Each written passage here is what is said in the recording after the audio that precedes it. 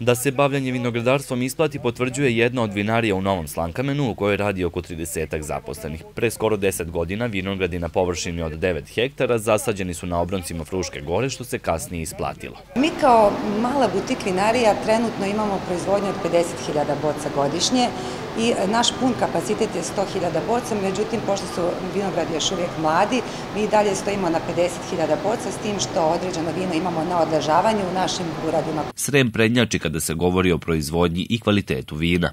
Italijanski rizling, Frankovka, Portugizer, e, dosta inostranih sorti, poput Raminca, Chardonnaya, koji, koga i nazivamo kralja Bern sorti, Merlo koji na Fruškoj gori daje izuzetno džemasta, džemasta vina, zaista drugačije od svih.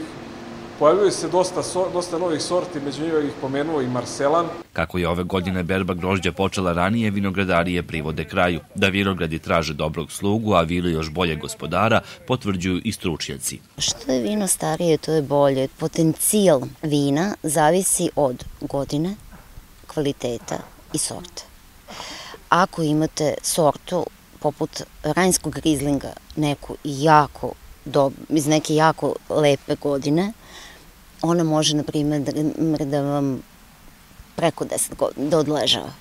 Pokrajinska vlada od pre dve godine sprovodi mere podrške vinogradarima i vinarima. Dajemo subvencije podizanje novih zasada, vinove loze, govorimo o primarnoj proizvodnji grožđa, ali sa druge strane dajemo pare, to je subvencije za opremanje vinarija jako bitna mera. Evo, ove, u ove dve godine potpisali smo ugovore sa 44 vinarije širom Vojvodine, ukupna vrednost investicija oko milion eura. U Vojvodini je registrovano oko 150 vinarija, od kojih je polovina u Sremu, a vinogradi se u ovom okrugu prostiru na oko 2500 hektara.